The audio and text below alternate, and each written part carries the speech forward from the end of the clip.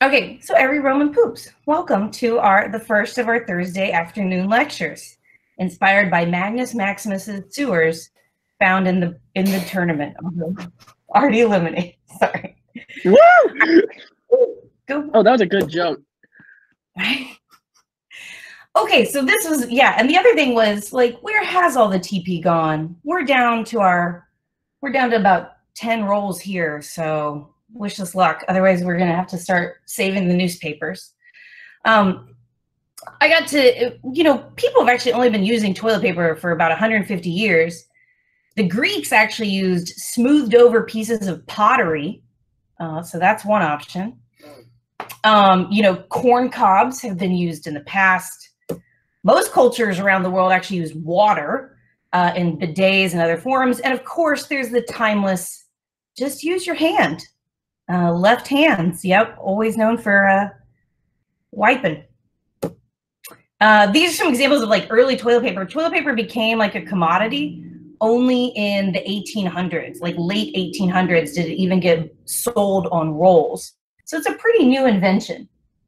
But you would think that like the Romans who brought us aqueducts, shout out to Ethan and Samantha, uh, engineering feats like concrete, um, surgical tools, shout out David Whitaker, and representative democracy, shout out Wren and Rivers. There were lots of you guys that did the Coliseum. So, anyways, um, you would think that they would be able to give us something useful with bathroom hygiene, um, but you would be sadly mistaken. So, where was the most common place for Romans to go to the bathroom? Uh, outside on the walls, just like a child raised by Adam Sandler. You just pee in the streets um, was the most typical place. And we actually know this because we get lots of graffiti about this. So here's some of my favorites uh, from Pompeii. These are actual graffiti written on alleyways. Uh, one is very nice, pooper, may everything come out okay so that you can leave this place. Or Secundus defecated here and apparently he wrote that on the wall three times. So yeah. And then there's Lesbianus defecated here, and he writes, hello, everyone. So that's a nice little greeting.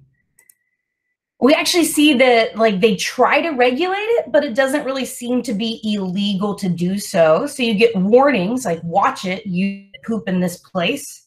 May you have Jove's anger if you ignore this. So sort of curses from the gods. Or we get anyone who poop, who wants to poop in this place is advised to move along. If you act contrary to this warning, you will have to pay a penalty. Apparently, children will have to pay some number of silver coins, and slaves will be beaten on their behinds.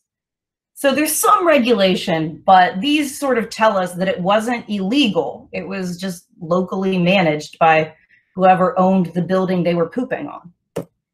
We even see it in graves. So apparently people urinated and pooped in cemeteries. So there's a tombstone that actually says, get out of here, pooper. It is not prudent for you to open your buttock cheeks here.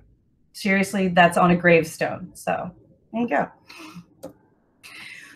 If you weren't just going to go in the street or the alley or the cemetery, you might run home and in your chamber pot.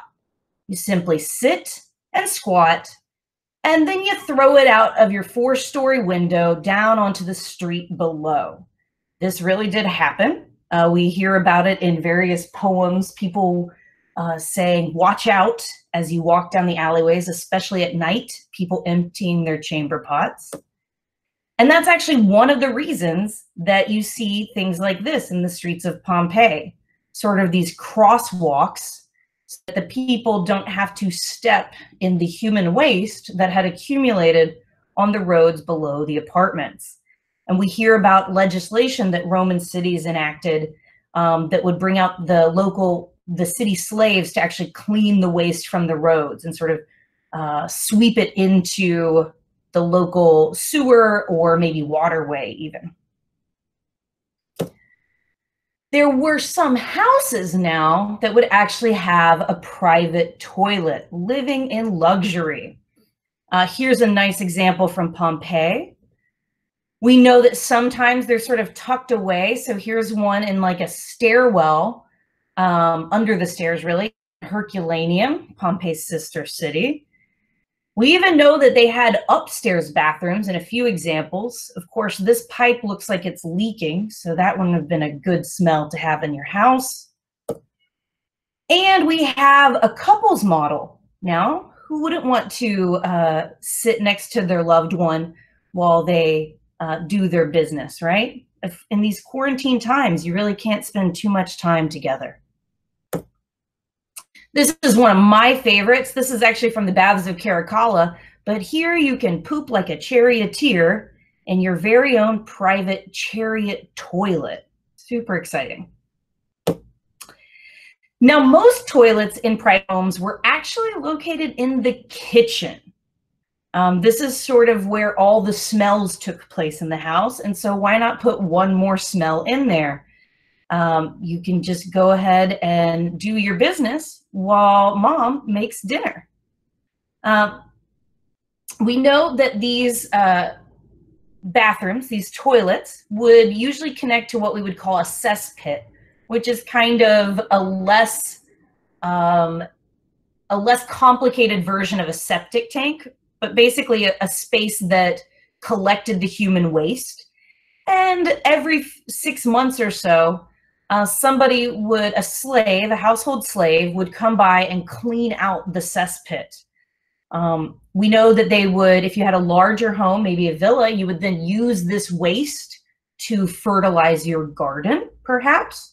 Or if you lived in the city, uh, you might actually have a slave for a company come by and buy your excrement, uh, and they would then turn around and sell it to farmers.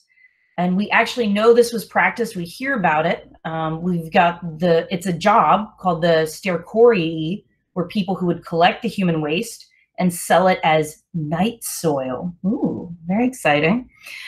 Now, this night soil would then go on the, the agricultural products, which is actually something that's done today. Still, we use uh, manure as fertilizer. But the key is today we let it sit and we process it, uh, which gets out all of the parasites um, and infectious things that live in waste. The Romans clearly did not, as we have ample evidence of Romans having all kinds of parasites related to people eating food with feces on it. So that's fun. Um, as uh, Piers Mitchell, who's an expert on this, explains, the eggs could have gotten onto the plants and later reinfected the people who ate them. So now what do we do with all this waste? Uh, we've got the night soil, uh, but what about all this urine that's just around? Well, urine has ammonium salts, and ammonium salts are a type of cleaner. So we actually know that they're used, this is serious, they're used to whiten teeth people would brush their teeth with urine. Um, we have this story from Catullus who says, in the country of Spain, what each man urinates, he used to brush his teeth every morning. So the fact that your teeth are so polished just shows that you're more full of urine. So the whiter the teeth, the more you've had pee in your mouth. Okay, great. We also know that they're used for tanning leather. This is actually still used today. Um, people use animal urine to soften leather. It helps remove the fur from the animal skin and makes it more malleable for um, to turn into clothing. So if you have a leather jacket, it's probably been peed on. Now, uh, we also know that it was a Roman belief that if you added urine to uh, agricultural products, that it would help ripen them faster and make them sweeter. So we have uh, advice from Columella, who says that if your pomegranate is bitter, then you need to moisten the roots with sow dung, that's pig excrement, and human uh, urine and stale urine. So you have to sit it out for a while. But probably the most popular use for urine was actually dyeing clothes and doing laundry. Again, these ammonium salts, this is the same stuff that's in your laundry detergent, in your shampoo. It's a type of soap.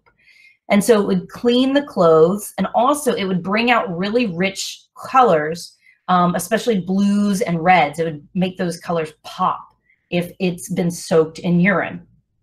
And we get ample evidence from Pompeii and from Ostia. Um, and we even know that it became such a commodity to have access to this urine that they enacted a urine tax. So as you collect urine, you had to pay taxes on it. We know that they collected urine from homes and latrines, and we even see in Pompeii little pots set up on the side of the road, encouraging people to urinate in them. So little like pit stops that they would then collect.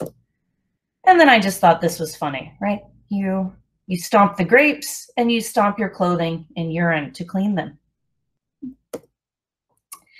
Now, probably one the thing that the Romans are most famous for when it comes to restrooms is the public bathroom. And these spaces uh, dot many of the cities across the empire. These open uh, marble seats, each one with a, a hole that generally drops down to the sewer, a lot of them with marble flooring, running water going around the channel, sort of beautifully adorned with sculpture and mosaics at times. Those nice marble seats, they look, they look great. Here's a lovely artist rendition. I apologize. All the artist reconstructions, for some reason, had Romans wearing pants, which I don't know why they think that. But you see there, you would have had water running through the channel, probably water in those basins in the middle for people to wash their hands or their sponges. We will get there. And it was a very uh, social, social event. One moment as I, uh, somebody is entering. Oh, it's Ethan. Hi, Ethan. All right.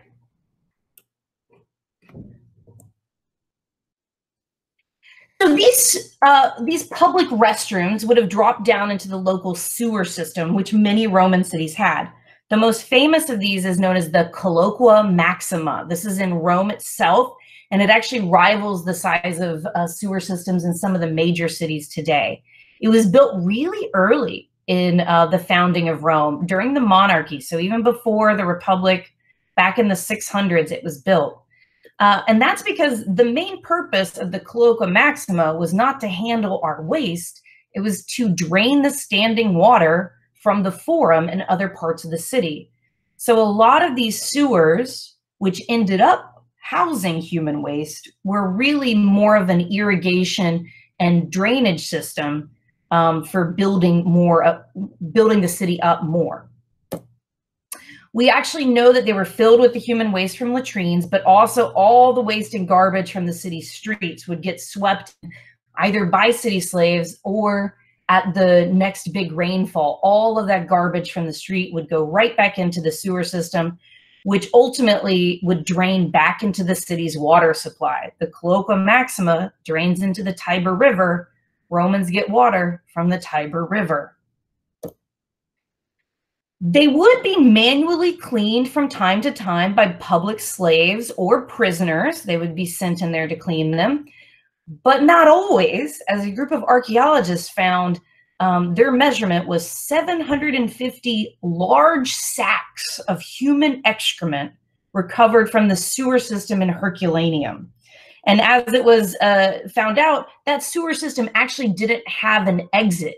So all of that waste was just literally piling up over time. Um, what this led to, we hear about, is all of this wonderful human waste uh, sort of fermenting in this closed space was a buildup of methane gases, which meant from time to time they would explode and have fire shoot up through the toilet seat uh, and tickle your bum, right? So a new meaning to explosive uh, diarrhea. Am I right? Okay. All right. So here's the question for you. What do you think the worst part about a Roman bathroom would be? Option one, there is absolutely no privacy, friends. You saw that. There are no stalls. You are you are hip to hip with your with your seatmate there. So absolutely no privacy. Okay, that's not great. I, I wouldn't like that. Option two, you got to share your toilet paper. What you are looking at is what's known as a xylospongium. It is a sponge, a sea sponge, attached to a stick. And we know that this is what the Romans used for toilet paper. What you would have in a Roman bathroom is a basin filled with water, sometimes with vinegar or salt water, and like five or six xylospongia in that basin. And when it was time to wipe, then you would just grab one, take care of yourself, and uh, put it back in the basin for the next guy to use. Uh, we also know that the, the running water channels around the edge, you could sort of swish it in that to get some running water to clean it off. So it was hygienic. It was fine. Yeah. Or option three, rat attack. Yes, we do hear stories um, that, you know what else lives in sewers is rats. And so every once in a while, you'd go ahead and sit down on your public bathroom and a rat would come up and bite your tuchus. So that's something to look forward to in the public bathrooms of Rome.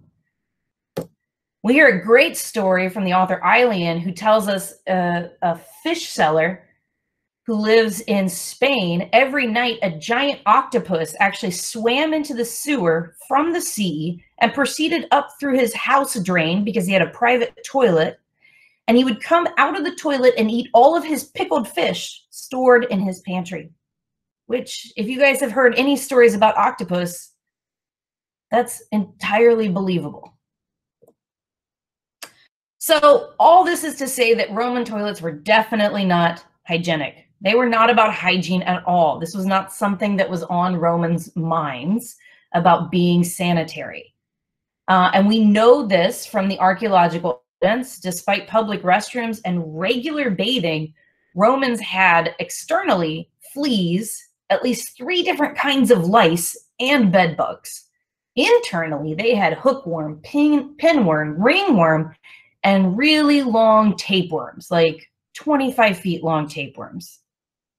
And there are no fewer parasites in um, Roman times than in the times previous. So think about like Bronze Age, Iron Age, or in times subsequent, like medieval period or the Vikings. They're all equally dirty and unsanitary. All this is to say that with all their body oils and bath rituals, they would have smelled clean, but they would have had infectious disease nonetheless. And here are my sources. There's some really great stuff out there. Um, this short video is excellent. Here are two experts in the field. They do a lot of stuff with public um, history as well, so they're great to follow. And that is our